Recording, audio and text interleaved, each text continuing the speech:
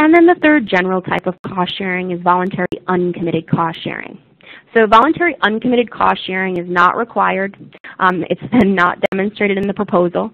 It's not referenced in the award document, right, because it wasn't required or demonstrated in the proposal or any sort of just-in-time or revised budget stage leading up to the issuance of the award document.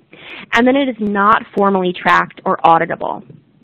I think one of the questions um, that people sort of say sometimes is, well, why don't you want to track on uncommitted cost sharing?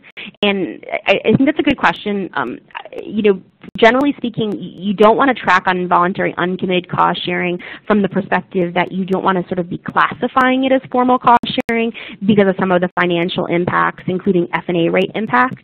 But I would say that it's an institution by institution deci decision as to whether or not you want to track on all the uncommitted cost sharing you're doing off the books, right? Not representing as cost sharing you'd want to put in your F&A rate agreement. Um, and that, that can be a difficult, uh, difficult consideration, especially given the amount of uncommitted cost sharing that occurs all the time, um, even getting back to thinking about the interplay between the revenues and the costs associated with conducting sponsored programs.